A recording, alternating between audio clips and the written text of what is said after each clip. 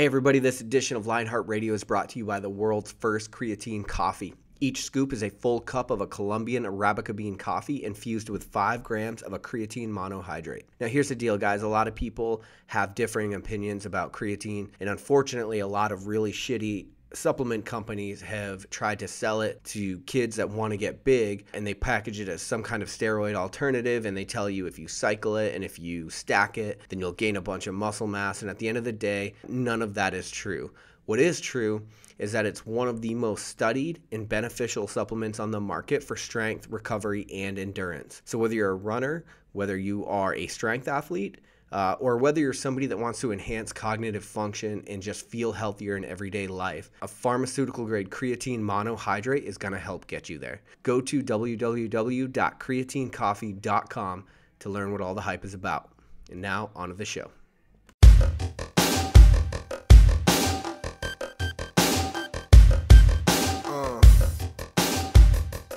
Welcome back to Lionheart Radio. I'm your host, Rick Alexander, founder of Aviv in San Diego, California.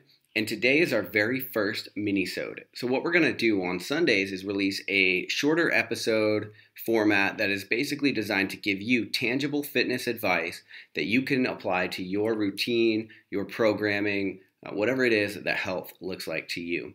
Now, one of the advantages we have here at Lionheart Radio is that we get to interview thought leaders and experts and uh, elite athletes from all around the world. And what I want to do is distill all of the information that they give us down into a really short couple minutes so that when you're food prepping on Sunday or nursing your hangover or on your Monday morning commute, whenever you get a chance to get it in, can learn something new and, and something that will improve your life.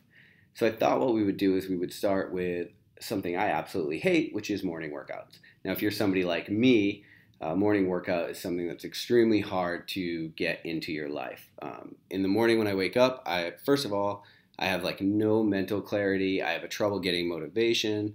Really, what I want is a hot shower, and I hate people before I drink coffee. So, uh, if you're anything like me, I think you can relate. The problem is that if I were able to work out in the morning, I would be able to get a lot more done throughout my day when you start your day with a workout, you have much more energy, you have more clarity throughout your day. Not to mention, you already knocked that part of your day out. You don't have to come back and do it later, and you can save the rest of your day for doing things that you do like, like playing with your kids or running your side business if you're me. All right, so the way that I've learned to skirt around my morning workouts and to figure out a way to actually start liking them is based on a concept that I heard a long time ago called a coffee nap. Now, the concept of a coffee nap is that when you get tired and you want to take a nap, what you do is you drink a coffee as fast as you can right before you fall asleep. The idea being that as you sleep, the coffee, the caffeine will metabolize and it will wake you up in a really short period. You won't go into that deep REM cycle. Uh, you'll wake up with more energy than you had when you went to sleep. Now, if you're you know anything like me, you're not going to be able to slam coffee and take a nap. It just doesn't work that way. I'll never fall asleep. But there is a way that you can get around this and apply this same method to your morning routine. Now, what you want to do is buy a caffeine pill. You can get them from anywhere Walgreens, CVS, Rite Aid, anything like that. And you're going to take these caffeine pills. Typically, they are 200 milligrams in strength, and you're going to cut them in half or even a quarter. I would say to start with a quarter. Usually, a quarter is plenty for me, which is going to be about 50 milligrams of caffeine. For context, a Starbucks coffee, if you were to get a large or a venti or whatever the fuck they're calling it right now would be 200 milligrams or maybe a little bit more. All right, so with 50 milligrams of caffeine, you're going to put that next to your nightstand and you're going to grab uh, water and set that next to it. And you're going to set your alarm for 30 minutes before you actually want to get up. Now, when your morning alarm goes off, you're going to wake up, you're going to take that caffeine pill, and you're going to instantly go right back to bed. The idea being, obviously, you've slept all night. You know, you have another half hour sleep, which might be the best feeling in the entire world. You're going to take your caffeine pill and then you're going to go back to bed.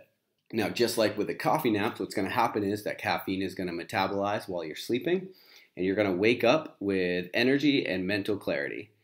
And I guarantee you, you'll feel a lot better than you will at any other time that you wake up. Now, the best part about this is it really doesn't affect your diet in any way. Okay, obviously, with a caffeine pill, there's no calories. It doesn't matter whether you do the ketogenic diet or you do the paleo diet or whatever it is, uh, caffeine really isn't going to affect that. I think the world has come together and decided that caffeine is okay in your diet, no matter what it is. If you're really sensitive to caffeine, obviously you're going to have to scale that dosage down. But the good thing about this is that you'll wake up with a lot more energy and you'll wake up in a better mood and you'll be ready to hit the gym much earlier than you would had you not done that. So uh, give it a try. I hope this works out. I hope to see you in the gym before 7 a.m. And neither of us will hate each other because we've both already had our caffeine for the day. All right, you guys have a good week, and I'll talk to you next time. Thanks. Thanks for listening to Lionheart Radio. Subscribe on iTunes and Stitcher Radio. And don't forget to give us a five star rating for all of your supplement needs. And for show notes, visit luavive.com.